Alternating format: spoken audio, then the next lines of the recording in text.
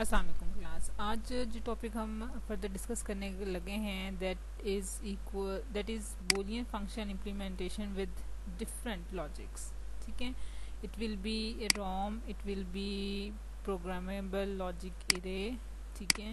And it will be P तो इन सब के साथ हम बेसिकली क्या करने लगे हैं, अपनी बुलियन फ़ंक्शन को इम्प्लीमेंट करने लगे हैं। बुलियन फ़ंक्शन आपको पता है वो किसी भी तरह का हो सकता है। एग्जांपल भी हम उसके साथ करेंगे तो आपको आइडिया हो जाएगा कि कैसे हम इसको इम्प्लीमेंट करते हैं। It will with the help of ROM यहाँ थोड़ी सी टाइपिंग uh, इशू आ गया है। ये रोम के साथ इम्प्लीमेंटेशन है। अच्छा पहले uh, हम सिंपल देख लेते हैं बुलियन फ़ंक्शन। हमारे पास बुलियन फ़ंक्शन जो डीएलडी में भी अवेलेबल होते हैं that will be in the form of like this एक फ़ंक्शन है, उसकी लिटरल जो है वो ए है, एक और फ़ंक्शन है जिसमें लिटरल हमारे पास इस फॉर्म में है। सम ऑफ़ मिन टर्म्स में हम रिप्रेजेंट करते हैं product of sum of product में हम रिप्रेजेंट करते हैं। इस तरह की रिप्रेजेंटेशन सारी आप उससे फेमिलियर है। इन इम्प्लीमेंटेशन को हमने देखना है कि हम किस तरह डिफरेंट टेक्निक्स के साथ इम्प्लीमेंट कर सकते हैं। एक तो सिंपल टेक्निक यही है कि इनको बेसिक गेट से कंस्ट्रक्ट करें ठीक है? फिर यूनिवर्सल गेट से करें। आ, एक अच्छी टेक्निक है लेकिन इसके अलावा जो आ, और टेक्निक है जिसको हम कर सकते हैं वो यूज़ वो that is with the help of the ROM ROM हमारे पास एक मेमोरी एलिमेंट है उसकी हेल्प से भी हम इसको इम्प्लीमेंट कर सकते हैं। उससे हमारा जो सर्किट की कॉम्प्लेक्सिटी है वो काफ़ी मिनिमाइज हो जाती है और एफिशिएंसी जो होती है वो इंक्रीज़ हो जाती है।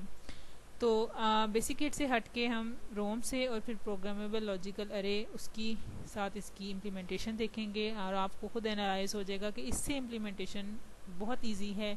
इसमें नंबर ऑफ़ गेट्स या नंबर ऑफ़ आप समझ लें स्ट्रक्चर जो है वो मिनिमाइज हो जाता है।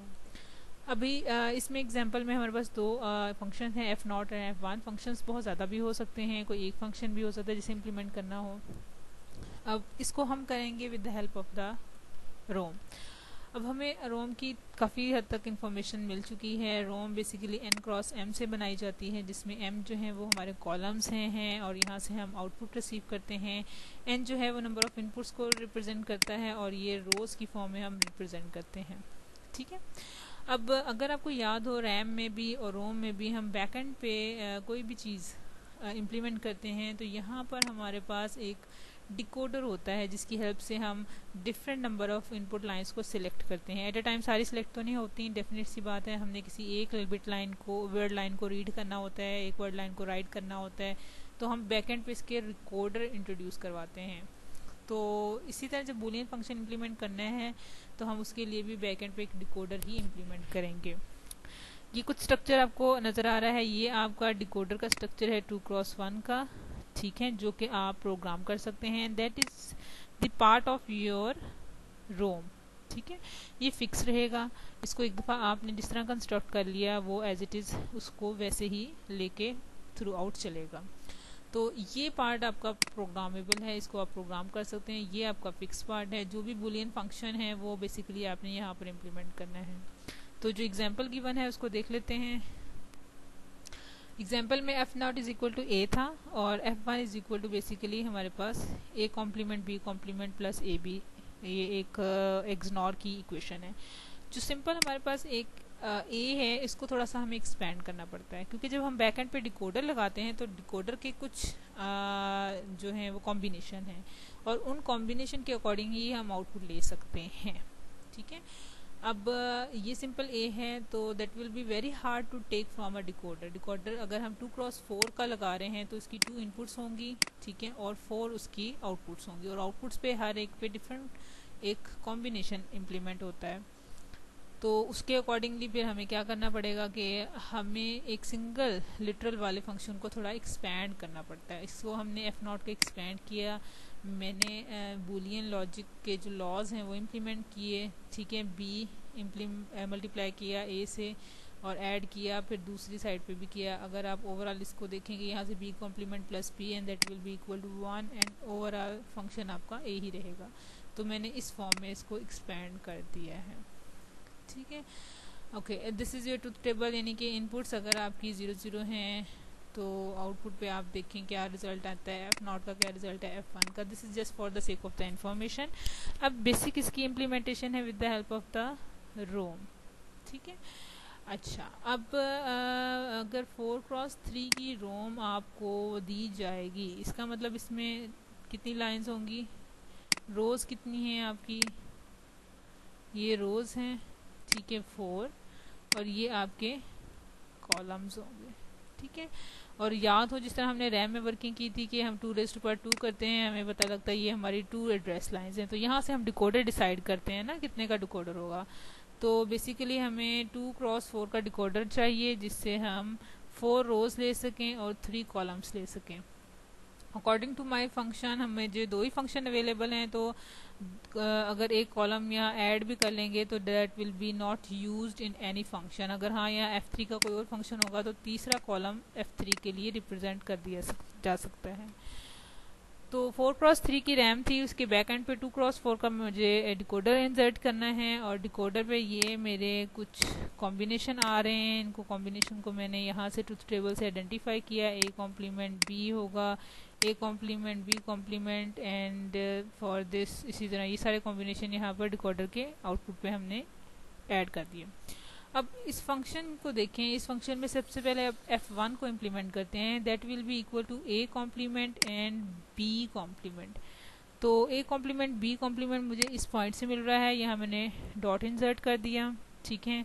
इसके अलावा एफ़ वन में अगला क्या है? ए बी और ए भी मुझे इस पॉइंट से मिल रहा है लास्ट वाले पॉइंट से। यहाँ मैंने इसको सर्कल कर दिया। ये दो पॉइंट्स डॉट की रिप्रेजेंटेशन से शो कर दिए और दोनों को कंबाइन करके मैंने एक और गेट के साथ इम्प्लीमेंट करके यहाँ से मैंने क्या लिया है एफ़ वन क्योंकि एफ़ वन बेसिकली क्या है सम ऑफ़ प्रोडक्ट है। तो यहाँ से फिर आप उसको एफ़ वन को अचीव कर सकते हो। इसी तरह अब एफ़ नॉट की इम्प्लीमेंटेशन एफ़ नॉट की अब एक्सटेंडेड फॉर्म को हम इम्प्लीमेंट करेंगे। A B complement A B complement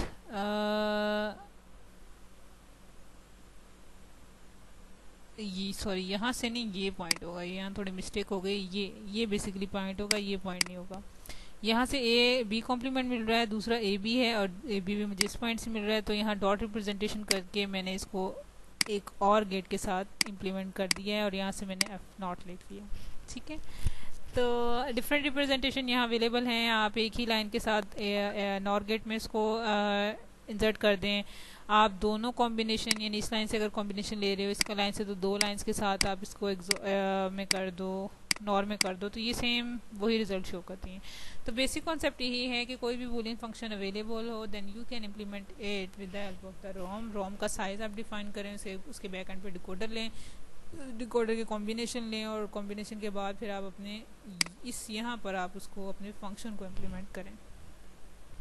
एक और एग्जांपल देख लेते हैं। एग्जॉर गेट है टू इनपुट का, उसकी इक्वेशन इस तरह की होती है। अब टू एक ही फ़ंक्शन है हमारे पास तो इसमें दो इनपुट्स आ रही हैं तो इसलिए टू क्रॉस फोर का ही मैं डिकोडर सिलेक्ट करूँगी। और इसके डिकोडर के functions A complement B complement A B complement and A B complement A B इस तरह चार जाएँगे। बेगजॉर गेट क्या कहता है कि A complement B A complement B मुझे इस पॉइंट से मिल रहा है, यहाँ मैंने डॉट कर दिया। अगला मेरा क्या है? A B complement A B complement third line से मिले, मिलेगा। इन दोनों को कंबाइन करके मैंने और कर दिया है तो मुझे and the end result XOR gate की फॉर्म में मिलेगा। ठीक है? तो ये रोम इम्प्लीमेंटेशन है। You have to be decide the decoder and then फिर आप उसकी इम्प्लीमेंटेशन इस रोम वाली साइड पे करेंगे। अच्छा अब हम करने लगे हैं काम प्रोग्रामेबल लॉजिकल अरेज के साथ। इसमें फ़ायदा क्या है? इसके अंदर अगर आप रोम में देखें कि रोम वाला पार्ट आप प्रोग्राम नहीं कर सकते you just have the option to program only decoder part but इस केस में हमारे पास दो प्लेन्स होते हैं that is the and plane and or plane और ये दोनों प्लेन्स हम प्रोग्राम कर सकते हैं। सो so, इससे जो आपका फ़ंक्शन है ज़्यादा फ्लेक्सिबल हो जाता है उसकी इम्प्लीमेंटेशन और इसमें हम सम ऑफ़ प्रोडक्ट की फॉर्म में अपने फ़ंक्शंस को इम्प्लीमेंट कर सकते हैं बड़ा इजीली कॉम्प्लीमेंटेड पार्ट है उसको भी यूज़ कर सकते हैं विदाउट कॉम्प्लीमेंट पार्ट है उसको भी कर सकते हैं. ठीक है? और आउटपुट्स हम और प्लेन से हम आउटपुट लेते हैं एंड प्लेन की हेल्प से हम इनपुट के कॉम्बिनेशन को इम्प्लीमेंट करते हैं। हम एक फुल एडर की एग्जांपल ले रहे हैं। फुल एडर में हमारे पास साम भी है कैरी भी है। इसको अब हम प्रोग्रामेबल लॉजिकल अरे जिसमें हमारे पास एंड प्लेन होता है और हमारे पास और प्लेन है, इस पे हम अब इम्प्लीमेंट करते हैं।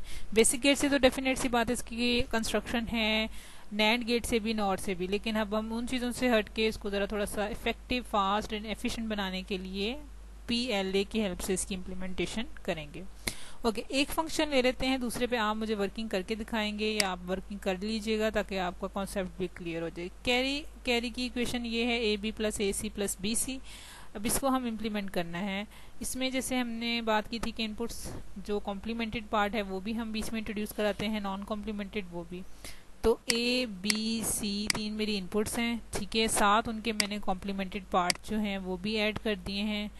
अब मैं इसको प्रोग्राम करूँगी अपनी इक्वेशन के अकॉर्डिंग ठीक है? एंड प्लेन पे पहले काम करते हैं अब एंड में प्लेन में क्या है? पहली कॉम्बिनेशन ए बी ठीक है? ये मेरा ए पॉइंट है और ये मेरा बी पॉइंट है. इन दोनों को मैंने एंड किया और ये मेरा ए बी का एक कॉम्बिनेशन आ गया कैरी की इक्वेशन का. सेकंड कॉम्बिनेशन क्या है? ए सी ये मेरा अगेन ए सी है ए है और सी पॉइंट मेरा ये है विदाउट कॉम्प्लीमेंटेड तो ए सी के साथ आगे एंड गेट लगाया और ए सी मेरे पास आ गया. सेकंड कॉम्बिनेशन आ गया कैरी का. Third combination last one B C तो इस पॉइंट से मुझे बी मिलेगा नॉन कॉम्प्लीमेंटेड और इस पॉइंट से सी मिलेगा नॉन कॉम्प्लीमेंटेड और इसको मैंने अगेन एंड कर देना है. तो यहाँ से मुझे क्या मिलेगा बी सी अब ये तीनों चीज़ें आपस में क्या हो रही हैं? सम हो रही हैं। ऐसे ही है, ये तीनों चीज़ें तीनों ही कॉम्बिनेशन सम हो रहे हैं तो इसलिए मुझे और प्लेन भी यूज़ करना पड़ेगा। दैट इज़ माई और प्लेन अब यहाँ से मैं वो पॉइंट्स एक्सट्रैक्ट करूँगी जहाँ से मुझे इन तीनों को और करना है। इस पॉइंट से मुझे ए बी मिल रहा है, इस पॉइंट से मुझे ए सी मिल रहा है, इस पॉइंट से मुझे बी सी अब इन तीनों पॉइंट से मैं कनेक्शन लूँगी और तीनों को फिर मैं अपने एक और गेट में इंट्रोड्यूस करवा दूँगी और उससे मुझे क्या रिज़ल्ट मिलेगा? कैरी का रिज़ल्ट मिल जाएगा। तो इस तरह हम पी एल ले के थ्रू अपने किसी भी फ़ंक्शन को इम्प्लीमेंट कर सकते हैं। अब यही स्ट्रक्चर सेम रहेगा। इसमें हम ये नहीं करेंगे कैरी के लिए अलग बनाएँ और सम के लिए अलग। अब मैंने सम के लिए बनाना है तो सम के लिए फॉर एग्जांपल फ़र्स्ट मैं अगर कॉम्बिनेशन लेती हूँ ए बी कॉम्प्लीमेंट सी ए मेरा पॉइंट ये है, ठीक है? यहाँ से एक लाइन आएगी। इसके बाद B complement B complement point ये है। ये बी कॉम्प्लीमेंट और इसके बाद क्या है? सी कॉम्प्लीमेंट सी कॉम्प्लीमेंट मुझे इस पॉइंट से मिलेगा। यहाँ से आ गया सी इन तीनों को मैं करूँगी एंड ठीक है? और यहाँ से जो मुझे रिज़ल्ट मिलेगा, वो मेरी फ़र्स्ट इक्वेशन होगी। A B complement and C complement ठीक है? इसी तरह बाकी आप इक्वेशन के कंपोनेंट्स इसी प्लेन में इंट्रोड्यूस कराएँगे और जिस तरह कैरी के लिए आखिर में और प्लेन में से हमने कैरी की तीन कनेक्शन लेके उसको और कर दिया था, इसी तरह आप सम के लिए भी फोर डिफरेंट लाइन से इनके कनेक्शन लेके आपस में और करेंगे। इसको आप खुद करें प्रैक्टिस करें और नहीं समझ आएगी तो मेरे से डिस्कस करें। ये इम्प्लीमेंटेशन है पीएलए से और यही इम्प्लीमेंटेशन हमने रोम से भी की है। रोम में सिर्फ़ डिकोडर के पार्ट को हम चेंज कर सकते हैं। ये वाला हमारा पार्ट फिक्स है। और इसमें आप ये देखो कि जितनी डिज़ायर्ड इक्वेशन में कंपोनेंट्स हैं, सिर्फ़ उसको ही हम प्रोग्राम कर रहे हैं एक्स्ट्रा चीज़ नहीं। तो रोम के अंदर समटाइम्स ये हो जाता है कि कुछ जिस तरह इसमें एग्जॉर के गेट में देखो, हमारी ये लाइंस यूज़ ही नहीं हो रही हैं। तो पी एल के केस में हम इन लाइंस को कंस्ट्रक्ट ही नहीं करेंगे, इन लाइन को प्रोग्राम ही नहीं करेंगे, अपने स्ट्रक्चर में ऐड ही नहीं करेंगे, क्योंकि ये हमारे लिए इरेलीवेंट है। तो ये फ़र्क होता है रोम में और पीएलए में। पीएलए में फिर आप अपने हिसाब से जितनी जितनी मिनटम्स चाहिए आपको, उन्हीं को आप सिर्फ़ मैप करते हो। रोम में बाय डिफ़ॉल्ट जितने का डिकोडर लगा दिया है, वो सारी की सारी आपकी आउटपुट्स आपने शो करनी ही करनी है, चाहे उसमें यूज़ आपकी सिर्फ़ दो ही हो रही हो। अब ये एग्ज़ाम्पल ज़रा जहन में रखें, इसी को पीएलए के साथ करते हैं। इसमें आपको नज़र आ गया फ़र्क, ठीक है? इसको आप पी के साथ करें तो ये इक्वेशन है टू इनपुट एग्जॉर गेट की। अब पीएलए के अंदर सिर्फ़ दो वर्ड लाइंस ही हमारे पास यूज़ हो रही हैं। अब इसके अंदर कितनी हो रही फोर हो रही थी, जिसमें से यूज़ सिर्फ़ दो ही हैं, लेकिन जो टू हैं वो हमारी एक्स्ट्रा में आ गई हैं, जो हम यूज़ नहीं कर रहे। सो ये फ़र्क आता है जब हम रोम के साथ कोई बुलियन फ़ंक्शन इम्प्लीमेंट करते हैं और जब हम पीएलए के साथ। अब पीएलए के इसमें जो रिक्वायर्ड हमारे पास कॉम्बिनेशन है, उसके अगेंस्ट हम यहाँ पर एंड प्लेन और यहाँ पर और प्लेन उसको कंस्ट्रक्ट करेंगे। ए कॉम्प्लीमेंट बी है ए और बी है ए कॉम्प्लीमेंट बी का एक एंड गेट लगा लिया, फिर इसी तरह ए बी कॉम्प्लीमेंट का एक एंड गेट और फिर एंड प्लेन को एग्जॉर का फ़ंक्शन लेने के लिए और कर दिया। ये और प्लेन हो गया और ये मेरा एंड प्लेन हो गया। बस। दो वर्ड लाइन्स एक तरह से हमारी यूज़ हुई, दोनों हमने शो की और दोनों ही यूटिलाइज हो गई।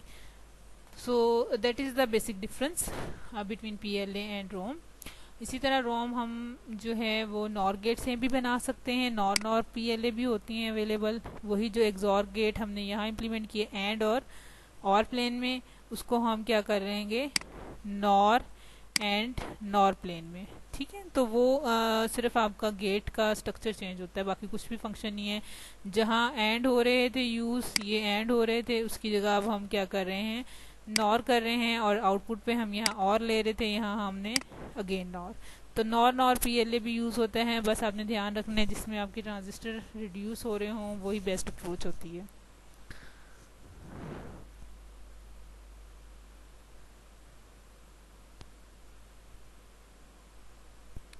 नॉर नॉर पीएलए के अलावा हमारे पास pseudo and NMOS NOR PLA भी होती है। इसमें नंबर ऑफ़ ट्रांजिस्टर और रिड्यूस हो जाते हैं, ठीक है? और एग्जांपल मैंने वही एक रखी है टू इनपुट एग्जॉर गेट उसी को हमने रोम से भी कर लिया उससे हमने पीएलए से भी कर लिया पीएलए में एंड और और प्लेन से किया नॉर नॉर प्लेन से। अब हम सूडो एनमोस के नॉर पीएलए को बनाते हैं, ठीक है? अब हमें सूडो एनमोस का स्ट्रक्चर जहन में सबसे पहले होना चाहिए, ये बेसिक स्ट्रक्चर होता है सूडो एनमोस का, ठीक है? जिसमें पी मॉस को हम ग्राउंड कर देते हैं, और जो एन मॉस होता है, उस पर हम अपना फ़ंक्शन इम्प्लीमेंट करते हैं। अब हमने सूडो एन मॉस का नॉर बनाना है तो नॉर में हमारे पास दो ट्रांजिस्टर आपस में पैरेलल में कनेक्ट होंगे, ठीक है? तो इसकी इम्प्लीमेंटेशन बड़ी इंपॉर्टेंट है। तो इसमें आप ये देखें कि स्ट्रक्चर कैसे बनेगा, थोड़ा सा क्रिटिकल है, ज़रा बड़ा केयरफुली इसको अंडरस्टैंड करने की ज़रूरत है।